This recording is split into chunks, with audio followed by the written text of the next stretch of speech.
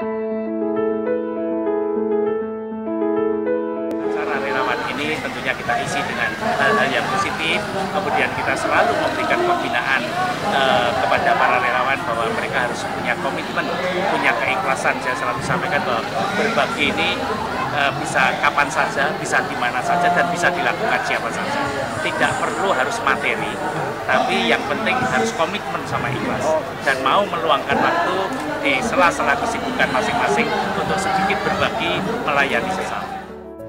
Sukarelawan itu Herut sama now. Nggak takut mati, tapi takut lapar. Relawan itu orang yang menolong orang lain, jiwa semangatnya tinggi, tanpa paksaan, siap menolong kapan jiwa kemanusiaan yang tinggi.